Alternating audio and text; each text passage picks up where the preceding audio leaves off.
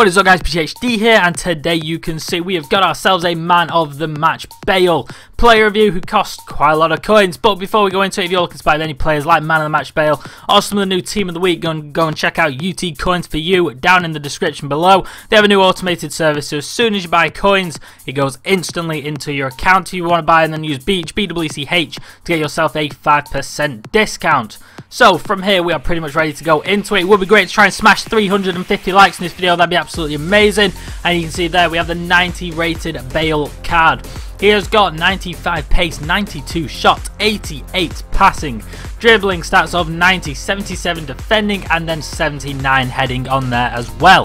See, I paid 5.4 million coins for him, and I'm still trying to sell him as we speak. And you can see Alex managed to score just 4 goals in 6 games We'll move on more to those kind of stats, you know, as we go into it. But on the other page, it's just kind of a little overview. He's mainly a left wing, left mid, left forward sided player. His other cards obviously are cam. And he's have 3 star skill moves, 4 star weak foot high attacking work rate and medium defensive work rate. I play him in a basic uh, just Liga BBVA squad and he does have ball control of 91, he's crossing of 91, 98 curve with 93 dribbling, then 95 finishing and 96 free kick accuracy, 80 heading, 85 long passes, 99 long shots, 86 penalties and 90 short passing as we scroll down. He has 98 shot power 82 standing tackle, and then 86 volleys to finish off all his main in-game skill attributes, which are, you know, they're incredibly high. Highly rated, you know, they are some, I've not seen like that, that's like team of the year Messi worthy, those kind of players. Uh, you can see we've already been over these main kind of stats, 3-star weak foot, 3-star, 4-star skill moves. He has 95 acceleration, 83 agility, 91 reactions, sprint speed of 97, 91 stamina and 85 strength on there as well. And all these stats, you know, they look so good, but then aggression of 84 and 83 attacking position. Now while all those stats look all good and dandy, Bale is possibly one of the worst players I've used. You know, when I've been doing these reviews, he's been the most frustrating, probably He's just been absolutely terrible. 5.4 million coins. I wouldn't pay that for any player just to to use in a squad generally.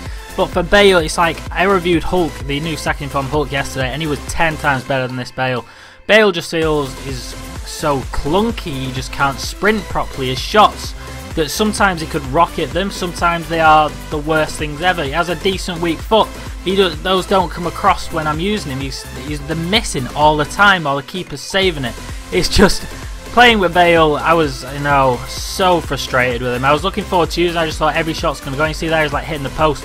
And I only managed to score four goals, so there's not even many clips in this review. You can tell just by looking at how I played them. I normally do really well with these, like the reviews, uh, getting goals, and I normally enjoy the players. But this is probably one of the first players I have to say I have not enjoyed at all. It's just been way too frustrating for my liking. So I would I would not recommend Bale at all, to be honest with you. Definitely not this man of the match one. For me personally, it could just be I'm having a bad day on FIFA, but you know, it's just it, it, just was not good at all for me. 5.4 million coins is way too much to spend on a player like this. I wouldn't even spend three on this player. Other than that, guys, do you have enjoyed the video? Remember to drop a like and subscribe to me if you aren't already, and I'll see you on the next video, guys. Bye bye.